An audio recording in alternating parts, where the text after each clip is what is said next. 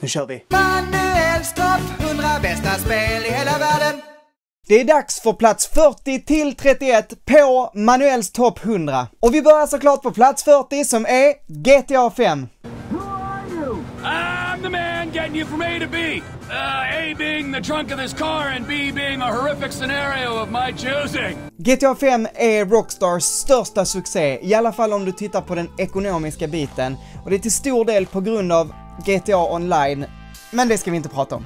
För trots att man idag inte hör så många prata om single player-kampanjen i GTA 5 så är det en av de mest briljanta och skruvade spelupplevelser som finns. Rockstar är så jäkla bra på att skapa kaos i sina spel. Det, hela storyn är bara som ett skenande tåg som du inte kan kontrollera överhuvudtaget. Du får bara snällt sitta med. Och vi måste ju prata open world, för denna öppna världen är så detaljrik, så full av saker att göra att ibland känns det övermäktigt. Man vet inte var man ska börja. Rockstar har gång på gång skrivit regelboken för hur ett open world-spel ska vara genom sina GTA-spel och GTA 5 är inget undantag. Det är måttstocken än idag tycker jag för hur ett open world-spel ska funka. Man vet att ett spel är bra när man fem år efter releasen sätter igång det och det fortfarande känns fräscht. Så känns det. På plats 39 har vi Fallout 3 och New Vegas. I don't want to set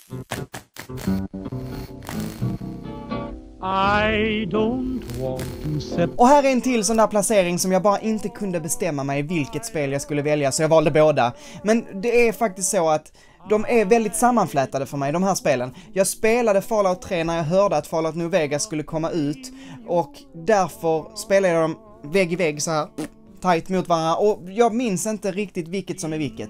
Det är liksom samma spelupplevelse för mig, så ni får acceptera det. Men vilken spelupplevelse det här är. Jag, jag har på riktigt svårt att sätta igång något Fallout, för att jag är rädd att jag aldrig kommer komma tillbaks till verkliga världen igen. Jag stortrivs i Fallout-universumet, det här postapokalyptiska, blandat med någon form av glättigt 50-tal och den här underbara musiken de har lagt på. Det är bara det, det, är, det är så felfritt i min mening. Och även om dessa spelen har åldrats grafiskt en del så gillar jag att vistas i de här miljöerna. Det kanske beror på att jag spelade dessa spelen när de var nya. Kommer man in och ska spela de här spelen för första gången nu, idag, så kanske man tycker att de ser föråldrade ut. Men jag gillar det. Det fina med Fallout är också friheten i dess rollspelande. Du får lov att vara precis hur du vill. Du kan i stort sett döda allt och alla. Du kan också låta bli och skjuta och mörda och döda. Det, det finns en, någonting vackert i det. På plats nummer 38 hittar vi Civilization 5.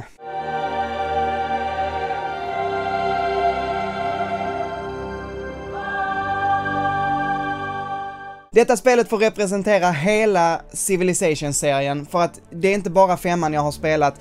Jag började med fyran, tog mig tillbaks till de gamla spelen på Super Nintendo, eh, testade femman och bara storälskade det. Men serien i stort är också helt fantastisk, jag älskar hela Civilization-serien. Jag tycker dock att det blev perfektion när man kom till Civilization 5. Det finns få spel som är så bra på att tillfredsställa det här maktbegäret som vi alla sitter inne på, så väl som Civilization 5. Att få leda sitt folk från stenåldern in i framtiden, att välja vilken väg man ska ta, att välja vilka relationer man ska ha till sina grannar, bestämma vad sina undersåtar ska tro, tycka och tänka. Det är rätt mäktigt. Varje genomspelning kan se så otroligt olika ut beroende på vad man har valt att fokusera på. Du kan välja att fokusera på militär och ta över hela världen, eller du kan välja att fokusera på eh, forskning och bara vara en liten, liten stat som har goda relationer med sina grannar och ja, det är så himla intrikärt det här spelet. Så, fantastiskt. Jag har testat sexan också, jag tycker inte det är lika bra. Det är ett bra spel, men inte lika bra. Jag tycker femman är perfektion. Det finns ingenting att klaga på i femman. På plats 37 hittar vi Fable 2.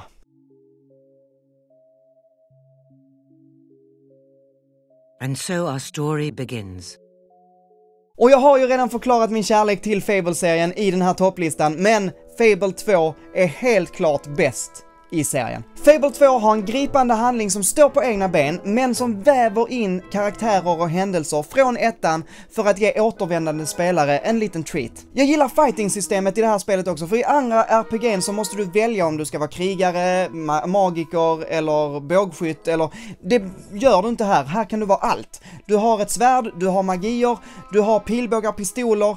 Det är, mm, mums! Och såklart det beryktade god-ond-systemet som till och med påverkar hur din karaktär ser ut i spelet. Det var vackert när det kom ut och jag tycker fortfarande det är vackert 10 år senare och det beror lite på det här sagoliknande estetiken man har använt. Den är jättebra, perfekt för den här typen av spel. På plats 36 hittar vi Shenmue 2.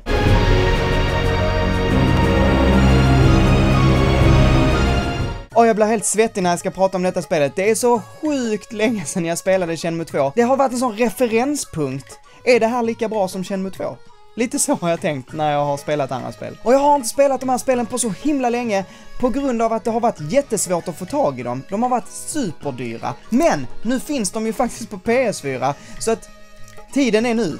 Det är dags. Det jag minns av min genomspelning för en massa år sedan är att jag tyckte världen var så otroligt levande och vacker. Det, det är någonting med färgen, alltså det bara sticker ut ur skärmen. Det är så mysigt att få springa runt på Hongkongs gator och prata med folk, spela lite pachinko, bara interagera med den här världen. Det var rätt nytt för den tiden. Och det är, det är på riktigt speciellt. Jag minns också att man fick tjäna pengar genom att arbeta, vilket, eh, ja, inte är så roligt i spel kanske. Men jag stod och sopade en innergård sjukt länge för att tjäna lite pengar. Man tyckte då att det var väldigt så, åh, vad verkligt.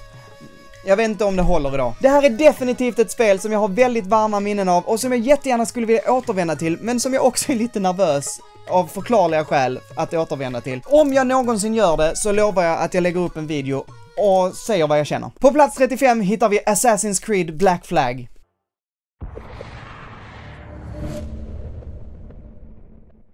Black Flag är den absolut bästa piratsimulatorn jag någonsin spelat. Assassin's Creed-serien är inte någon favorit. Den är helt okej. Okay. Inte jättedålig, inte jättebra, men helt okej. Okay. Black Flag däremot är magnifik. Det är hästlängder från något annat som Assassin's Creed-serien har släppt. Jag hade egentligen varit mer nöjd om de bara hade kallat det Black Flag och släppt Assassin's Creed för detta och bara haft piratdelarna. För det sämsta i det här spelet är när man måste ut ur animusen och röra sig i den här moderna världen. Det intresserar mig inte alls. Men trots det är detta ett otroligt spel. Stridssystemet är välpolerat, både på land och till havs. Och seglingen, mm, ska vi prata lite segling? Alltså det är så magiskt! Frihetskänslan av att ha plundrat en annan båt eller ett fort och segla iväg ut på det öppna havet medan din besättning sjunger på någon gammal sjömansvisa. Det är få grejer som slår det. På plats 34 hittar vi Final Fantasy 9.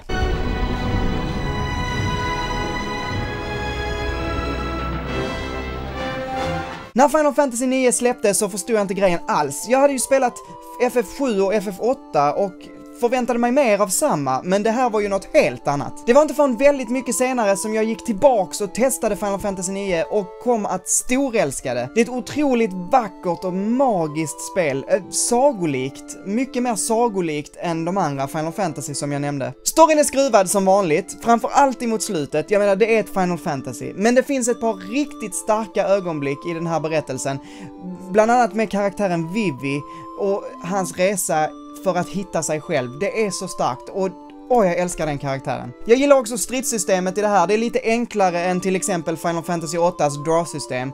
Men jag gillar det, det är bra. Det är absolut värt en genomspelning om man inte har testat det än. Det finns på PS4, så jag kan bara varmt rekommendera att ladda ner och testa. På plats 33 har vi Doom från 2016.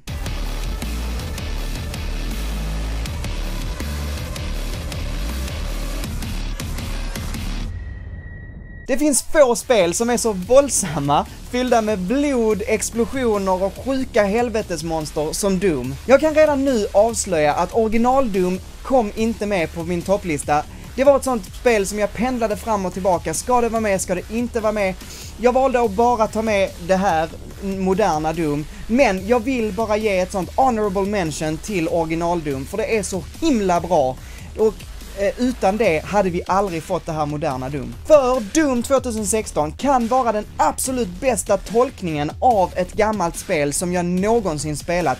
Den tar allt som är bra med det gamla spelet, alltså det blodigheten, det råa actionen och lägger på snygg grafik, ett bra challenge-system, otroligt bra kontroller som också känns välbekanta i sin design och ett jätte, jätteroligt samlande. Jag vet att jag kunde gå tillbaks flera, flera gånger till samma bana bara för att plocka allt, döda allt, samla ihop allt som den banan kunde ge mig. Ett jätteroligt spel, jag rekommenderar det definitivt. På plats 32 hittar vi What Remains of Edith Finch.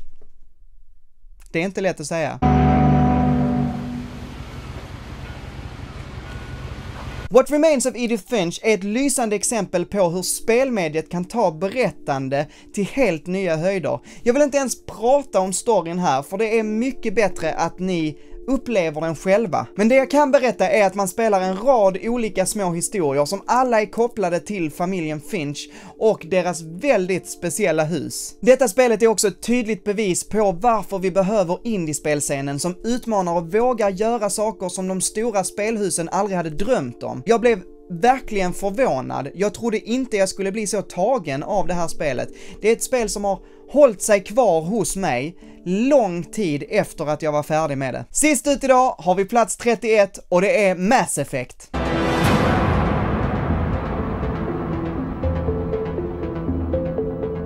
Och ja, detta är antagligen en lite kontroversiell placering eftersom jag har satt Mass Effect 1 över Mass Effect 2. Jag vet att många tycker att 2 är bättre och ja, objektivt så är det antagligen ett bättre spel. Jag förstår det. Men för mig personligen så var spelupplevelsen av att spela Mass Effect 1 för första gången något så otroligt. Det var så banbrytande när det kom ut, att få resa genom rymden, utforska planeter, utforska alla de här olika raserna, att få ligga.